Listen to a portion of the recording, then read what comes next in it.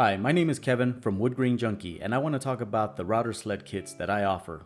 They are made specifically for the most popular trim routers like DeWalt, Milwaukee, Makita, and others. I'll also show you how simple it is to assemble using either of the kits I offer. So, if you already purchased a kit or if you're considering purchasing one of them, sit back and I'll show you the differences and everything you'll need to complete your sled. Just a quick backstory. I primarily work on cutting boards and charcuterie boards that typically don't exceed 15 by 24 inches. That, and the fact that I have a small shop, means I need a router sled that is compact and something I can tuck away under my assembly table when I'm not using it. I also wanted to use my trim router instead of a full-size router, again, because I want something fast and simple. And if you're curious about it being underpowered, it's no different from using a trim router on a tabletop CNC machine. Let me show you the two kits I offer. First is the starter kit. This kit offers the acrylic parts and hardware needed to assemble the bearing blocks and the shaft or rod support brackets. And for reference, I'll be using shaft and rod interchangeably. It comes with a 3 8 inch thick cast acrylic base for your trim router and two 4 inch grips so you get a good handle on your sled. It also comes with four quarter inch thick cast acrylic plates needed to attach the rod supports to the X-axis bearings. You'll see those in a bit. Lastly, you'll get the hardware needed to put all the pieces together. Next is the Essentials Kit. This kit includes everything in the starter kit, plus four linear motion ball bearings and four rod support brackets. You'll see how all of this comes together shortly. Just very important to keep in mind, if you purchase the starter kit, you'll need to purchase your own bearings and shaft support brackets. Now let's talk about what's not included in either kit. These are items you'll need to purchase from Amazon or other suppliers. The reason I currently don't include them in the kit is because everyone has their own specs as far as length and cut capacity. I also don't have the space to house all the rail and rod inventory for all the different lengths. You'll need to purchase an SBR 16 rail set at your desired length. These sets typically include your two X-axis rails and four SBR 16 UU linear motion bearing blocks. Also needed is a set of 16 millimeter rods or shafts at your desired length. These are the rods your sled slides on in the y-axis.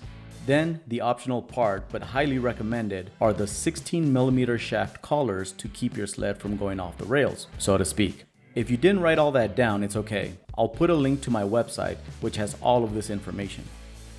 And these are all the parts you'll need in order to set up your trim router sled. Again, all this information will be on my website, which I'll link in the description. As far as mounting options, you can screw down the rails directly onto your workbench, or you can create a simple router sled base that you can move around and put away like I did. In my case, I added a half inch layer to raise my boards, since I typically flatten boards that are roughly 1 inch thick.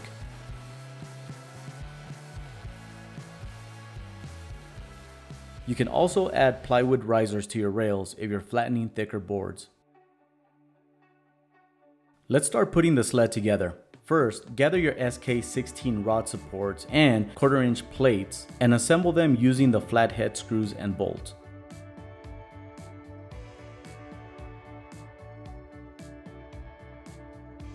You'll need a 3mm hex bit or Allen wrench to tighten them.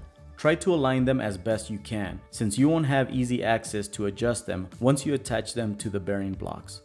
You can also use some Loctite to keep the screws from loosening over time.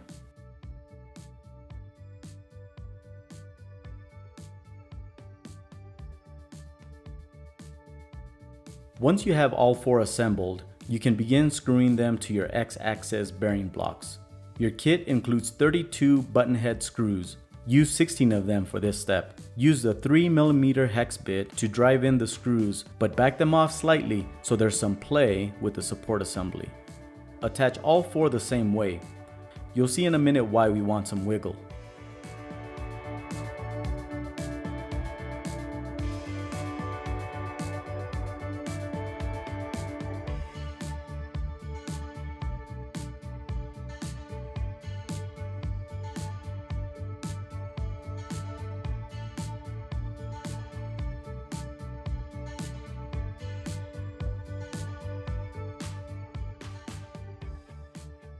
Now we'll attach the bearings to the router plate. Use the remaining 16 button head screws to attach them, also leaving them slightly loose.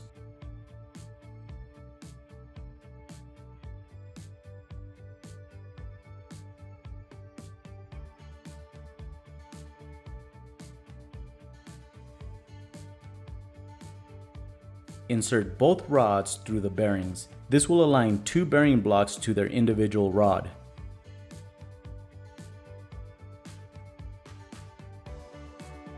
Tighten only one side for now.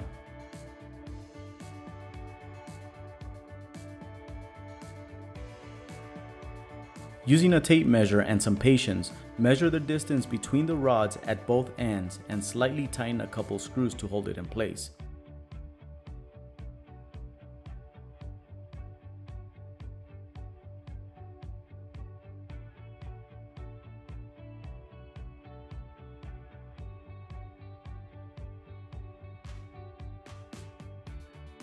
Measure again to make sure you have the same distance, and once you do, tighten all the remaining screws.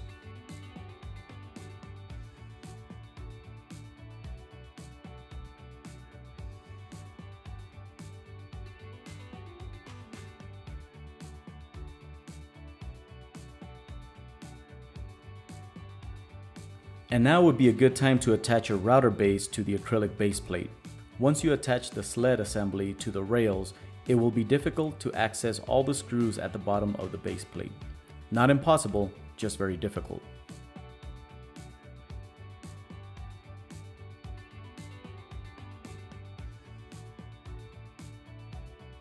Next, insert the rods back through the bearings and into the support brackets.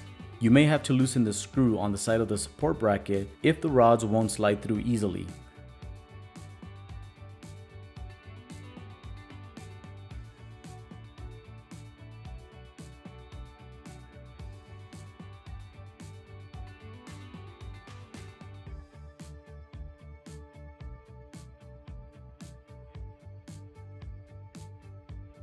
Measure about half inch to an inch on the exit side and tighten the support bracket screw.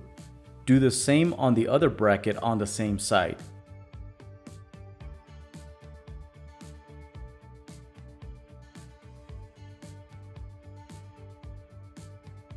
The opposite ends get the leftovers, but tighten those screws as well.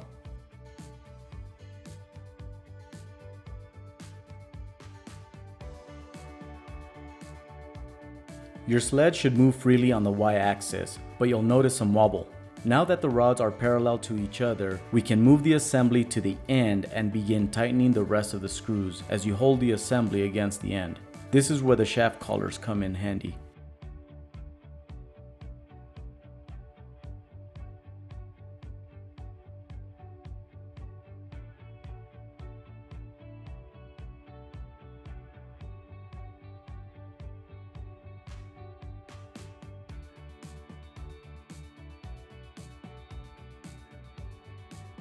Now, your sled should move freely in all directions.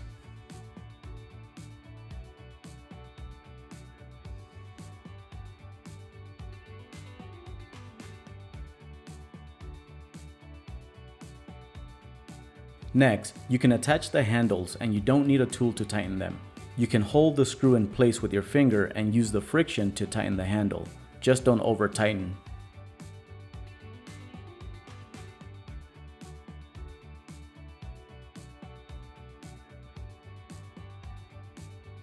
And this trim router sled is coming together nicely.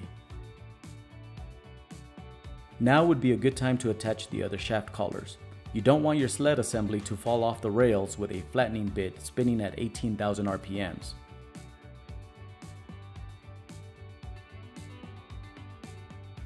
And now you have fully assembled your trim router sled.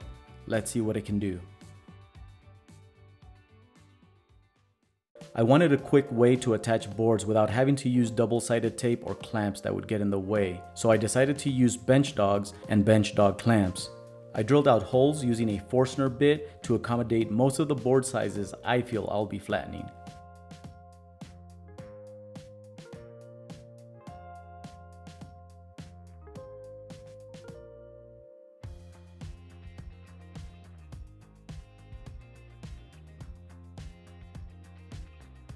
I typically mark my walnut with a white lead pencil so I know if I missed any spots and need to go back and take another pass.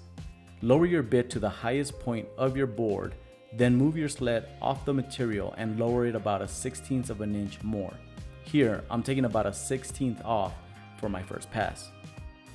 I'm cutting across the grain, but you get cleaner results cutting with the grain, which you'll see in a minute.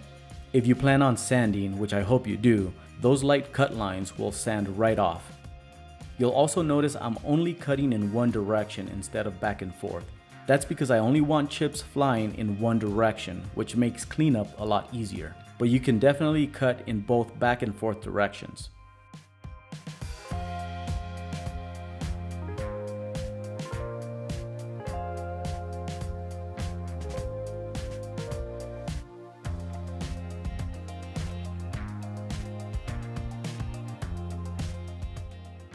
Now I'm cutting with the grain, which leaves a cleaner cut.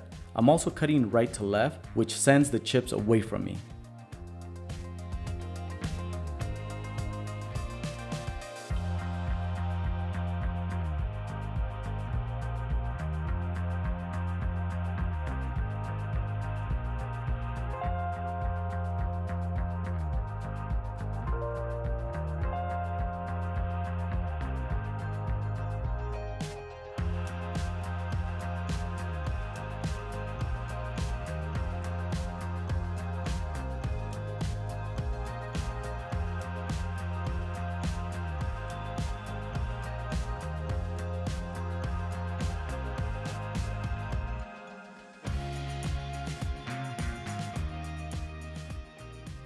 It's difficult to see and appreciate on the video, but this board is dead flat.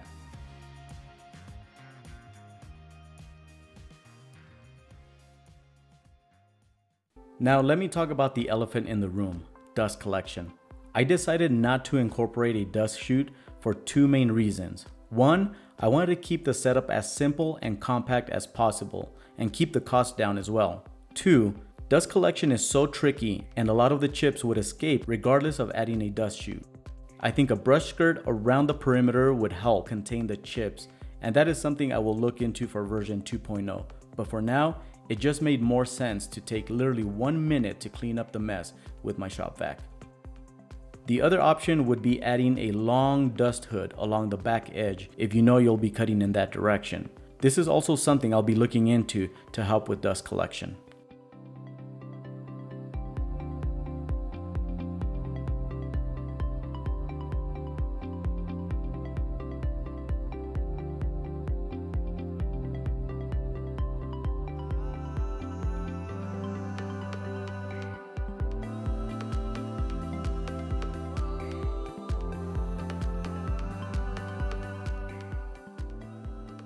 And that's it. I hope this video helped you put together your trim router sled or help answer some questions you might have had as you consider purchasing the starter or essentials kit.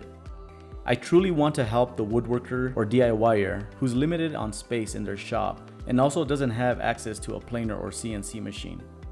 And honestly, you can find and purchase all of these parts on Amazon and make your mounting plates out of plywood but I think you'll be very satisfied buying a kit from Wood Grain Junkie and not have to hunt down all the components yourself. Definitely check out my website for all of the information and feel free to email me if you still have any questions. I'm more than happy to help. Hope to see you all on the next video.